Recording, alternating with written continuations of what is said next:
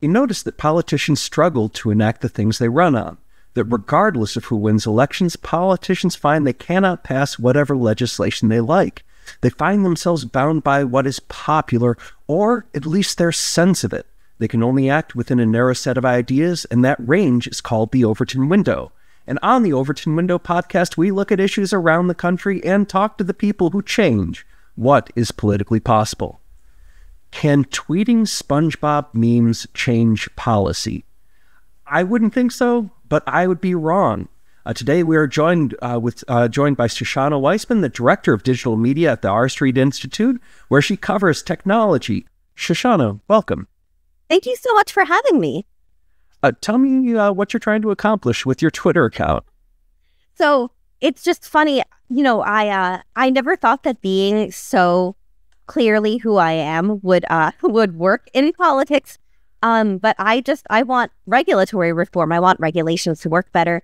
I love working at the R Street Institute. Most of our stuff is basically free markets and regulatory reform. So that that's all we want. And it turns out you can use SpongeBob memes to get you there. Okay, so I mean, let's dig in on on some of that and say clearly who you are. Um, how, how did you care about regulatory policy?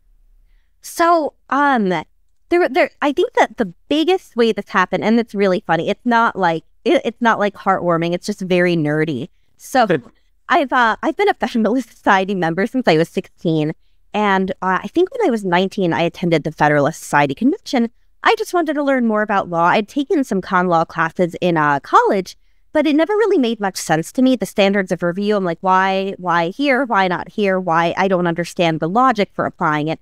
And then I heard Randy Barnett talk, and uh, he was getting into the 14th Amendment, uh, unenumerated rights, and the theory there that all rights deserve protection because there isn't an ink blot on the Ninth Amendment, like uh, Robert Bork had said. And I'm like, oh yeah, why, why do we treat rights differently? And that leads you to economic liberty. Typical 16 year old thoughts? Yeah, normal, normal stuff.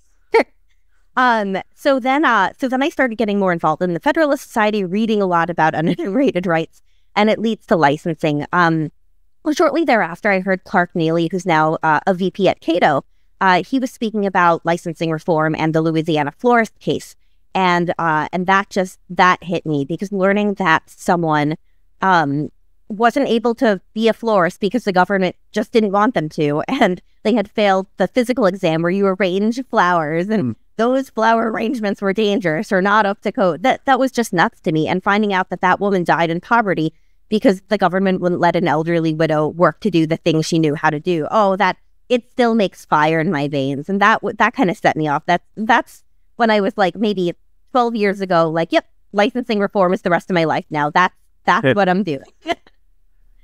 and so in addition to i mean you write papers you do analysis you do like a lot of the things that a normal think tank person uh, does on this issue but like what you're noteworthy is doing something that very few other people do is find humor in social media and then constantly sharing interesting and thought-provoking things through social media how'd you come to do that thank you so it's funny I, i'm digital first and i think that really helps not a lot of people bridge between digital and scholarship. And a lot of those who do struggle to do it right because it's a hard thing to do.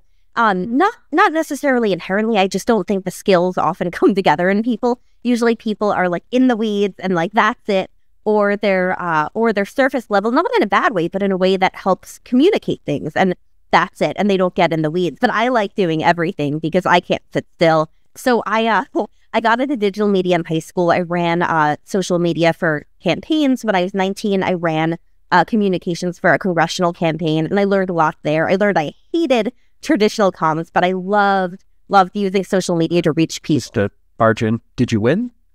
No, no, it's alone. Uh, it's it's wild. There's a whole story there. We lost very badly. Uh, our name, the the candidate's name, wasn't on the ballot, even though it was supposed to be crazy levels of corruption within the GOP in New York. It's it's a whole deal. We totally lost. But um, I learned you could reach donors on LinkedIn because they're not on tw- at the time, at least not on Twitter, not on.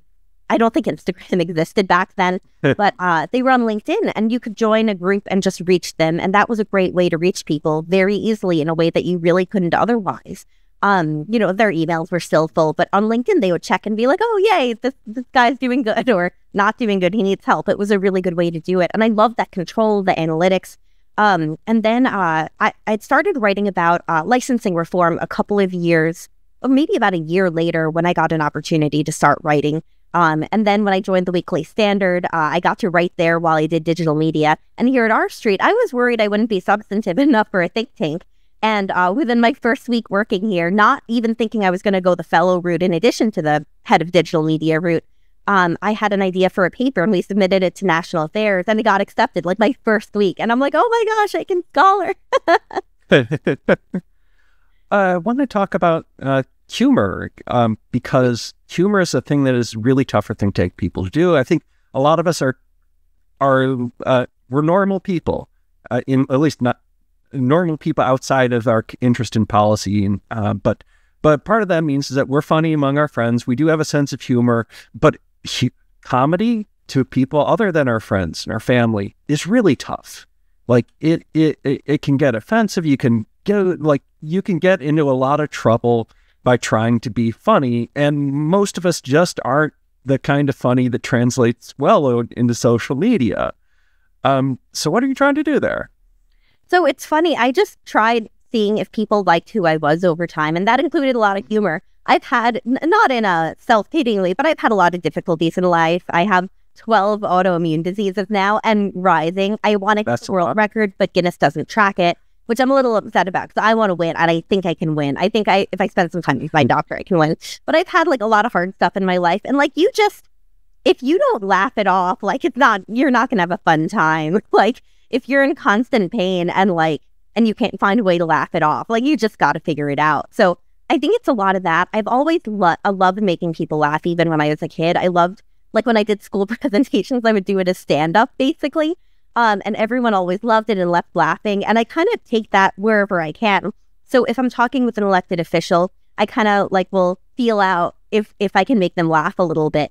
Um, and one of the biggest compliments that uh, I have is I'm close with Governor Doug Ducey, the former governor of Arizona. He's one of my favorites, and I call him my son because I'm so proud of my growing boy and all the good stuff he's doing. Um, and he always says that one reason he loves working with me is because I'm fun, and that really stuck with me. Like, it's it's cool to know that that they they enjoy that a little bit, that you can have fun with them, and it's the same on social media. Whoever you're reaching, people like to laugh a little bit. If you can make them laugh, they'll remember things because it's an emotional reaction. You can go the anger route, and there's nothing wrong with it if it's warranted. But laughing's a really good alternative to the anger route too. Yeah, yeah. Uh, I guess uh, I'm kind of curious, uh, at least from your perspective, what do you think your social media engagement has accomplished? So it's wild. I, I actually have specific examples. Like when I first joined R Street, uh, the Alabama, I forget exactly the name, but their board of alcohol was going to ban margarita pitchers because they're like, oh, well, people can use this to hit each other and, you know, break the glass and whatever. And I'm like, that's really stupid. So I shamed them so much that they called us out and said, oh, this wasn't a final rule. We were just considering. so I stopped a regulation by just making fun of someone really hard. And I've done that a couple of times. Um, I've made friends with elected officials who then like want to work with us on licensing or other reforms. I met the mayor of Oklahoma City basically through Twitter.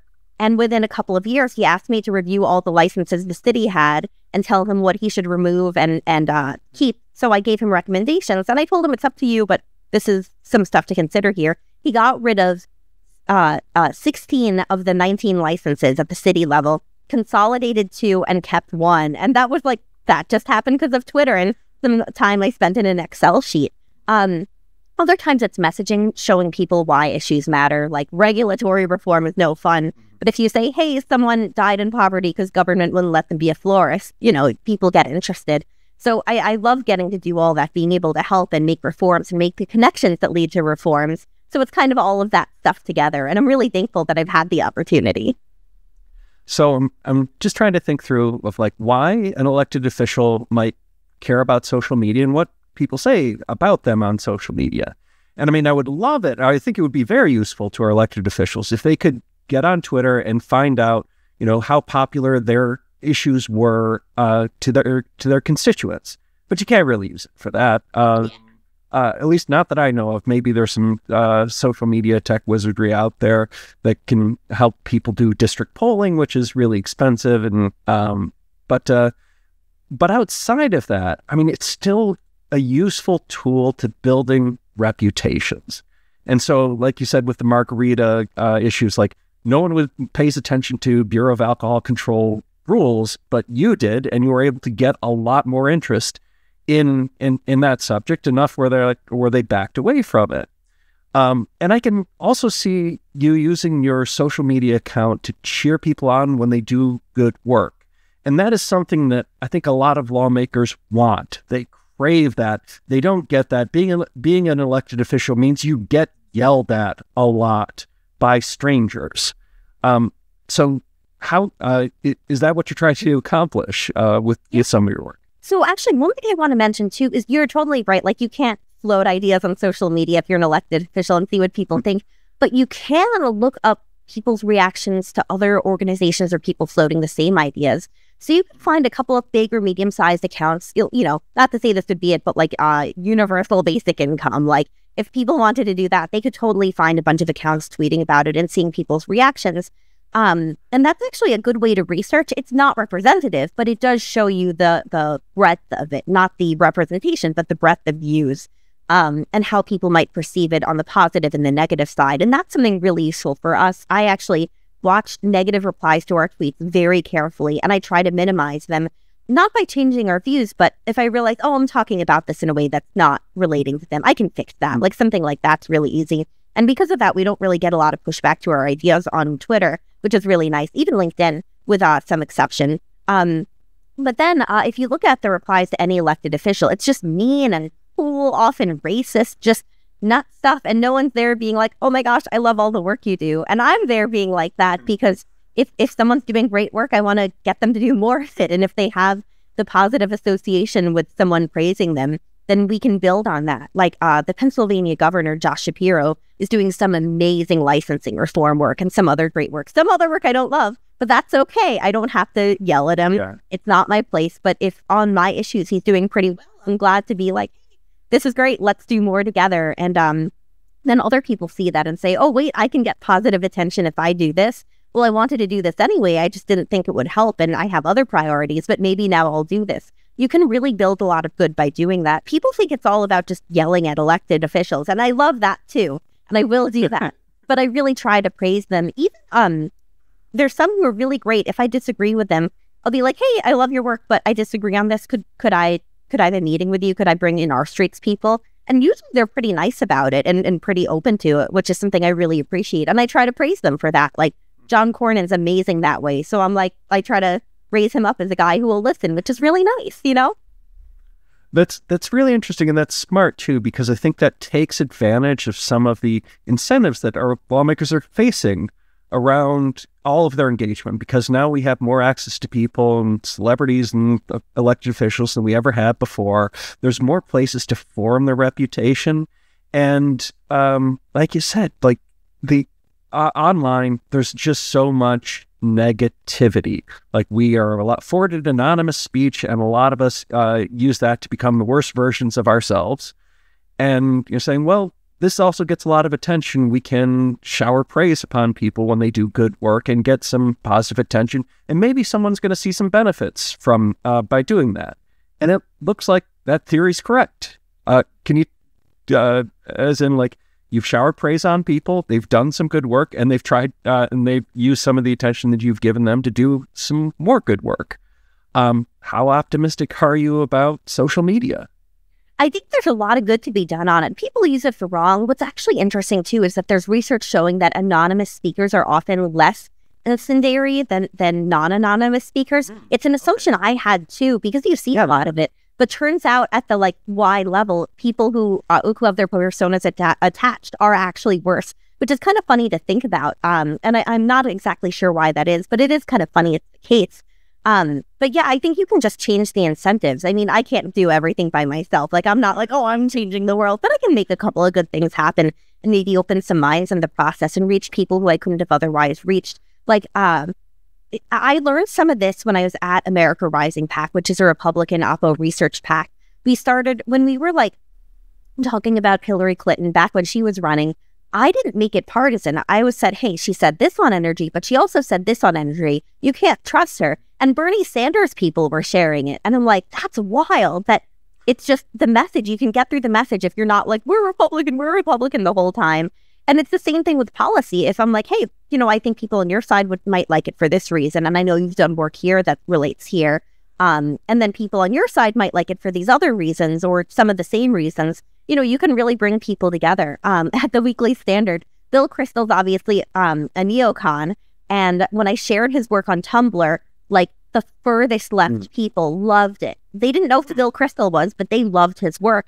And it's just the when you get rid of the labels, you can really do some good work. So I took that and now I use it in policy just to bring people together, to nerd with everyone. Um, and with rare exception, everyone's been pretty great about it. Like I've worked with Elizabeth Warren on licensing reform, and I've worked with Tom Cotton on licensing reform and even on tech policy, like Ron Wyden, the, the father of Section 230. I've worked with him there. And um, and then people way far on the right, like Rick Santorum's kind of on our side with that. But it's just it's amazing what you can accomplish with positive attitudes and just saying, hey, we're not here to criticize, we're here to help. Or even if we are here to criticize, we're here to be a helpful critic, not like we're not here to yell at you. We're here to like say, Here, here's stuff you might want to consider. And even if it's not fixing it, maybe gets a little better.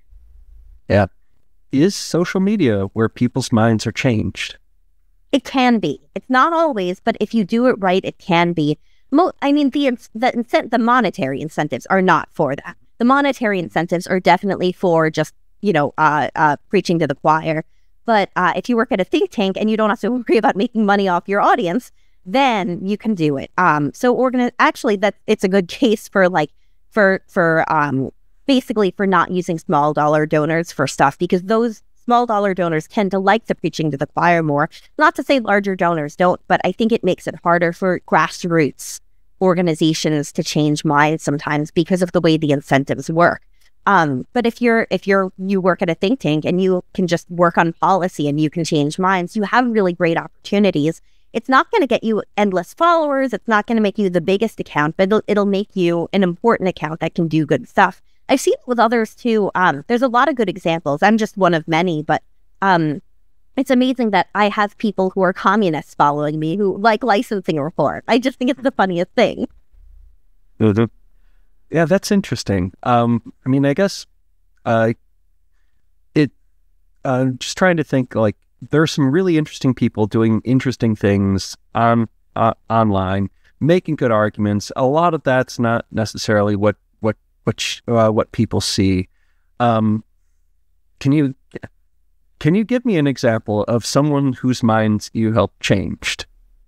Yeah, it's been a lot on licensing reform. Just random people will come to me and say, you know, I used to think this, but you have a really good point here. I didn't think about how all this works out, how the license isn't working.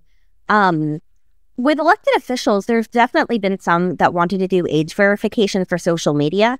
And I explained to them, here's some cybersecurity risk you might not have considered. Here's some First Amendment issues. They're like, oh, we didn't realize that there's already precedent here and there's it's pretty subtle. And I'm I want to consider that. So sometimes they'll back down from ideas or jump onto something else. Or um, other times people want to license something and they'll ask me for my opinion. And I'll say, well, you know, here's how it's working in other states and the rates of harm are the same. So I'm not sure that that's going to, you know, do anything.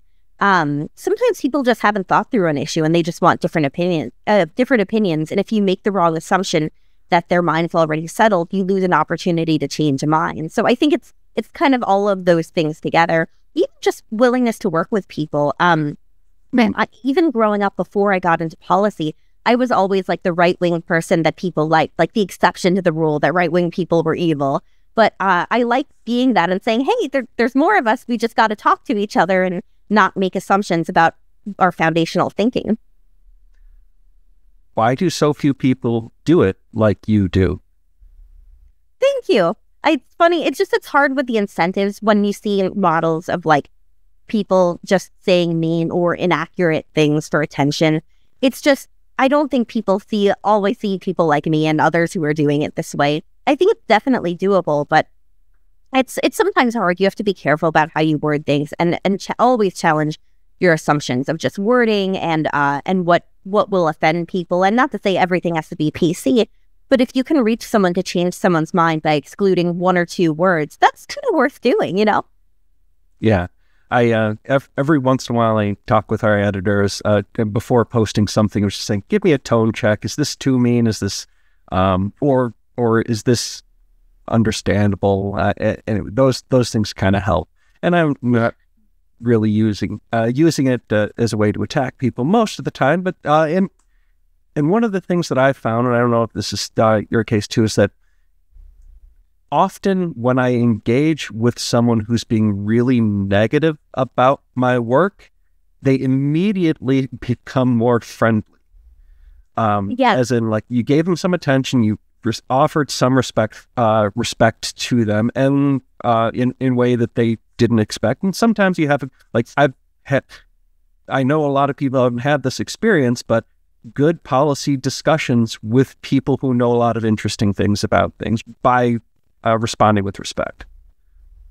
Absolutely. There's an exception to that, though. If someone's really nasty to me, I have no problem telling them to F off, and I will do so very happily, and I'll make an example out of them. But if someone's like, "Hey, I don't think I agree. Like, I think you're wrong about this," then I'll dive in and say, "Okay, you know, uh, he, you know, here's where I'm coming from here." And sometimes it ends with, "You know, we're just going to disagree here." But there have been a lot of times where they're like, "Oh, I didn't realize this," or "Oh, I didn't connect these dots here."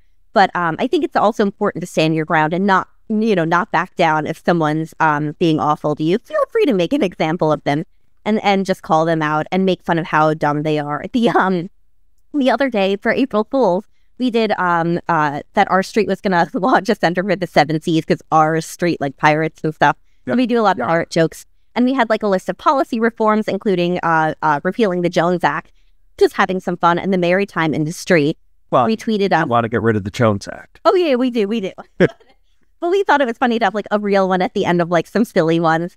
And the maritime industry retweeted us and said it says a lot about this organization that we couldn't tell if this was a joke or not. So I retweeted and I said, um, shocker, Jones Act supporters admit they're morons. And like they were like so hurt. They they replied with like a promotional video for them. And like, congrats, you don't know how to use social media. And I ripped them. But if they had been like like if they had like joked on top of that, I would have liked that. Like that would have been fun. Like uh we're actually um launching a center for Jones Act. Like we love the Jones Act and like just something silly. I wouldn't have minded, but they were just so petulant and so mean. So then I got everyone to make fun of them, and that's totally okay.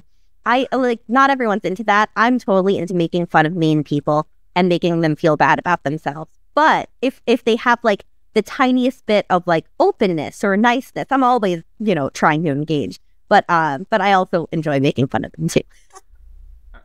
So you engaged in one of the issues that is near and dear to my heart: occupational licensing. These are uh, unne- uh, they are often unnecessary uh, barriers uh, barriers to work that protect industry incumbents at the expense of people who want to enter the in- uh, the industry and everyone else too. What do you bring to the table on the issue? Yeah, so I t- just go where people are interested. It, it's always hard with the lobbies, are, you know, how the cosmetology lobby is vicious. I have never seen a lobby as powerful or vicious as they are. It's so weird to me. But it's funny when they see me, they're like, oh, you have purple hair. You must be a cosmetologist. I'm like, oh, you're making some assumptions you're going to regret.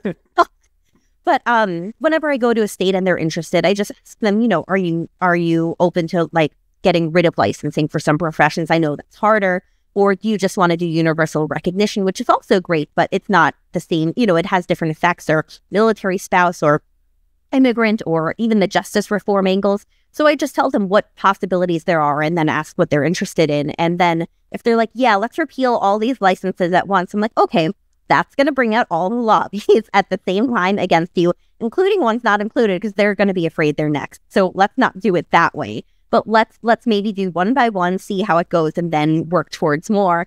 Um, but I just try to, you know, roll with what they're open to. Some people only want universal recognition, and I'm fine with just better. I just want to make it better. So any way to make it better, I'll just go with. Yeah, uh, well, that's that's an issue right now. Where like, this is an issue where most uh, most states have, uh, at least for for our side, we've already lost in most states as an occupational licenses cover a a wide and expansive uh, scope of practices. Uh, they they have extraordinary bounds to uh, that are completely unconnected to uh, protecting public health. Um, and but there have been people who have been paying attention, who've been calling for this for years. I mean, economists have been skeptical about the uh, the benefits of occupational licensing for years, but economists are not good advocates. Um, uh, that that brings it to people uh, people like us to try and change the political incentives to uh, to do this. And one of the things, or to uh, to make important changes uh, to these laws, and there have been recently. Like it's it's only over the past fifteen years that people that there have been any movement in the opposite direction, and I think some of that is because there's been more attention paid, and I think like what you're doing matters a lot because this is a uh, this is an issue of concentrated benefits and diffuse costs, like so much of public policy, where it's uh, where public policy is used to create um, benefits at the expense of the public. And the way that you break that is by drawing more attention. And social media can do that in a way that just wasn't capable 20 years ago. Uh, so, can you talk about some, some of that? Because I think yeah, I bring a lot of attention to this. it's crazy that I have almost 70,000 followers who care about regulatory reform and sloths and hiking. It's amazing. It's just, this wasn't a thing. Like, I couldn't have started a magazine 20 years ago. People would have been like, why would I ever subscribe to this? Like, that's ridiculous. But here you can do it. It's just amazing. And people want to hear these weird stories. Unfortunately, people will use it for evil and make up stories and stuff like that, or exaggerate or leave out details. But a lot of it is real. Like, you can find the, the florist story always gets attention. People are always floored by that. Or um, learning the disconnect between uh, the means ends fit or the racial disparities. People are really interested in all of these things, and you can get a lot of attention there. But it's because of social media. It's funny, it, it ties in with my age verification work too, because I started on social media when I was a lot younger. When I was 14, I started networking on Facebook. And it's why I am where I am today. I even found out I had fibromyalgia from a small forum. And the possibilities of information sharing on social media are, are just so great that, of course, if a parent doesn't want their kid on social media, they should not have their kid on social media and put up blockers and stuff. But um, but all my work kind of ties together here because of I believe in, in robust information sharing and not having the government get in the way of that. Um, whether that's First Amendment rights for people speaking as their profession, like tour guides, which are licensed in some places, which are it's just ridiculous. I, I, we've we've had our friends the Institute for Justice on talking about this. Uh, yeah, yeah, exactly. Um, so whether it's that or even just minors having the right to access speech online, um, again, unless their parents say no, and and uh, and when the government does it, there's cybersecurity issues. When parents do it, there's really not. So that kind of helps there. But um, all all of this is just about information sharing. Like you can share information now that people, you couldn't have found the people who wanted it so easily a long time ago. And now they just search for licensing reform if they're interested in that. Or marmots. I love marmots and I'm always tweeting about marmots. Or sloths. You can find all this stuff together in a way that you just couldn't have before. And it's also why I'm such a techno optimist. You know, it enables such incredible things. Even um, in a similar kind of vein, I was talking with the governor of Montana, who's also one of my sons, and he was talking about how he's using AI to um, reduce or to figure out how to simplify regulations. That basically he he looked into it, and uh, an AI model looked at Montana's regulations and said that basically you need ten years post high school experience to even like really understand them, which is nuts. Like I have three and a half and three years post because I graduated fast because I was bored. But um, you know, I have a bachelor's degree and I, I struggle to read this sometimes myself. And I've worked in this, and I, I often have to go to colleagues and say, hey, this is what this says. Is this what that really means? And I'm an expert. Like, that's so bad. So he wants to make an AI model that can simplify it. And I love the intersection of tech and regulatory reform. There's some really, really great stuff to be done, whether on social media through advocacy or even through finding examples of people harmed by things.